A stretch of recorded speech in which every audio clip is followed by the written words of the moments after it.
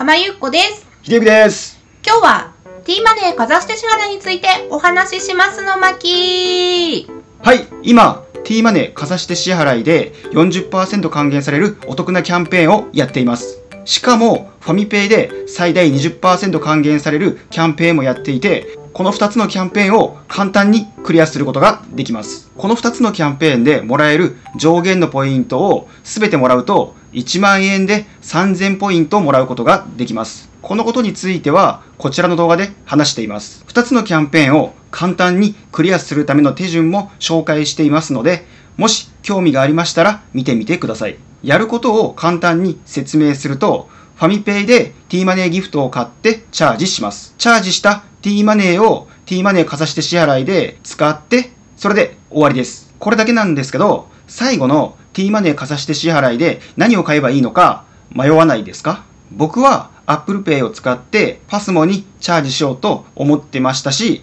キャンペーンを紹介した動画でもそう言ってました。ただ、T マネーかざして支払いのキャンペーンでは、電子マネーへのチャージは対象外みたいなんですよね。ですので、今日はもっといい使い方を紹介しようと思います。まず、T マネーかざして支払いのキャンペーンの上限なんですけど、40%還元で上限が1000ポイントとなっています。ですので、2500円の利用までは還元率40%になります。2500円分は電子マネーのチャージに使ってはいけません。2500円だけはコンビニとかそういうところで使うでもいいんですけど、もっと簡単にこの2500円を使う方法があります。それは Amazon ギフトです。T マネーかざして支払いにはバーチャルカードも用意されてます。そのバーチャルカードを使うと Amazon ギフトが購入できるんです。僕はファミペイのキャンペーンも上限のポイントもらうようにするために1万円を T マネーにチャージしようと思っています。ですので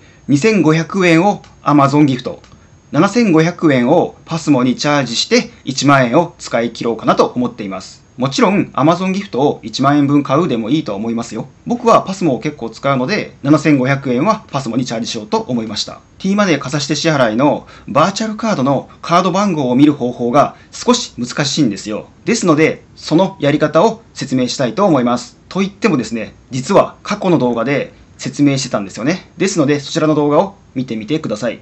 T ポイントアプリのマイページの T マネーかざして支払いをタップします。次へをタップします。カード情報の確認をタップします。ここでナビダイヤルに電話する必要があります。ナビダイヤルですので必ず10円がかかります。20秒で10円ですね。ナビダイヤルに電話して、で、電話を切って次へをタップします。するとカード情報が確認できます。注意してほしいのが、この画面をもし閉じてしまったら、もう一度開こうとすると、またナビダイヤルに電話しないといけません。なので、この画面の情報はどこかにメモしておいてください。セキュリティを一切無視するんだったら、一番楽なのはスクショかなと思います。僕はめんどくさかったんで、とりあえずスクショして、で、それをね、後でじっくりワンパスワードに入れました。この手順でカード情報を確認できます。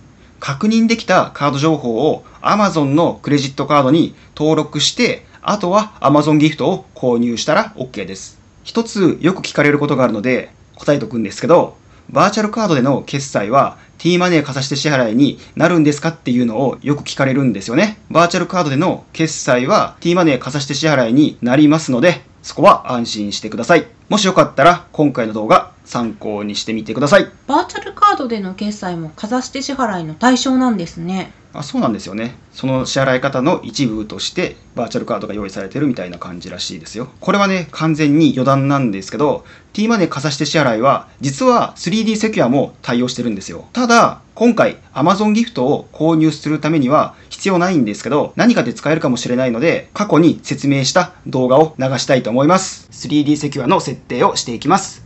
マイページからまたこの画面に来てください。本人認証の設定をタップします。そしてまたナビダイヤルに電話します。電話を切って次へをタップします。そうするとこの画面になりまして、ここで 3D セキュアのパスワードを決めてください。設定するをタップして完了です。こんな感じで登録しとけば 3D セキュアが使えるようになるので、まあやっといてもいいかなと思います。まあただ、この 3D セキュアもそうですし、カード情報を見るときもそうなんですけど、いちいちね、ナビダイヤルをしないといけないんですよね。そこがね、ちょっとね、僕はいけてないなと思ってます。最初に1回だけやれば、あとはしなくていいと思うので、まあ、はい。やっておいてもいいのかなとは思います。はい。というわけで今回は T マネーかざして支払いについてお話ししました。浜ゆこと秀幸。がお送りしました。ためになった楽しかったという人は高評価とチャンネル登録お願いします。チャンネル登録するとお得情報をいち早く知ることができますよ。またねーバイバーイバイバーイ。